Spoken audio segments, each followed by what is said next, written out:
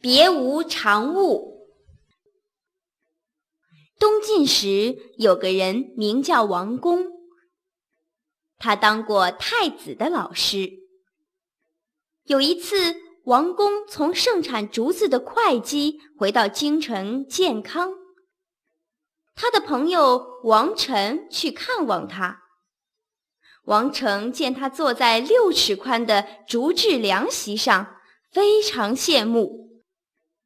于是就直截了当地对王公说：“你从盛产竹子的地方回来，买了这样好的席子，请给我一张吧。”王公因为没有多余的席子，只好默然不语。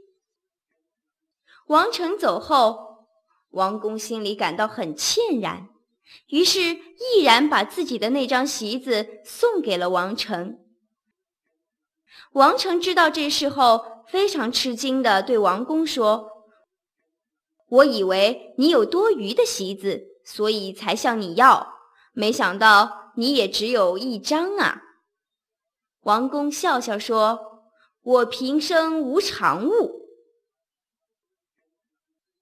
后来人们把“无常物”说成“别无常物”，用来形容再没有别的东西。